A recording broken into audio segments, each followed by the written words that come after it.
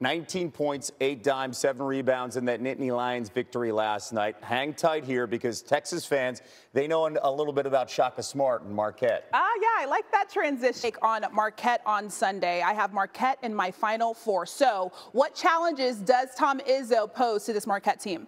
First of all, Tom Izzo's happily miserable. So, like when he's miserable, that's the very best of Tom Izzo's victory. The, Sorry.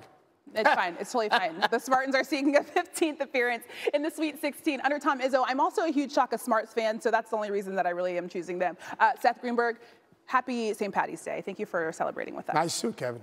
Thank you. and earlier today, starting with NC State taking on Creighton the 11 seed taking on the 6 seed teams. You could see both of them have deep runs. What will be the difference? Yeah, I think right now Creighton, you talk about Creighton with Ryan Kalkbrenner. This is match up nightmare.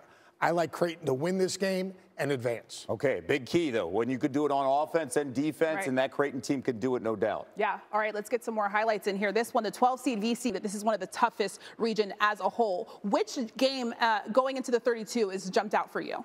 Kansas, Arkansas. You're like people we don't we know, and Ricky Council's flying around.